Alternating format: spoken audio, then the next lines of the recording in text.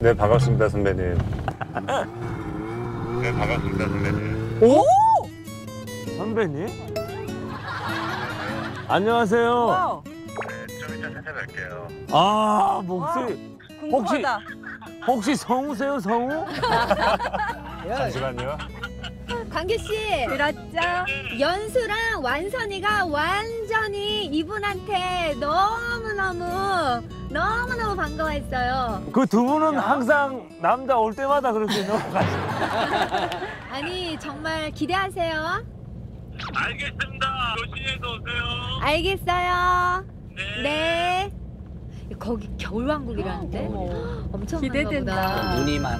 눈이 엄청 많은가 봐요. 형, 형, 남자, 남자가 그 뒤에서 뭐 하는 거예요, 형? 형, 형, 여자 뒤에 숨어서 형, 남자가, 어? 형, 광경 너무 하는 거 아니야? 어? 가만히 있어봐, 나.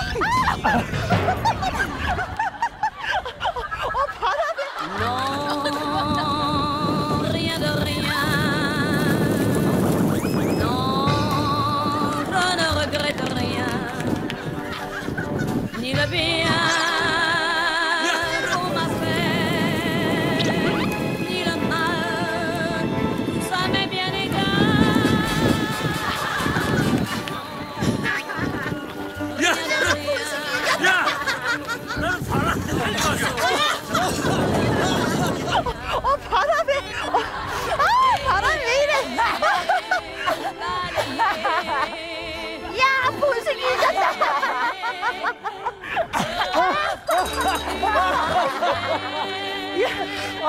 나 광경, 광경 때문에.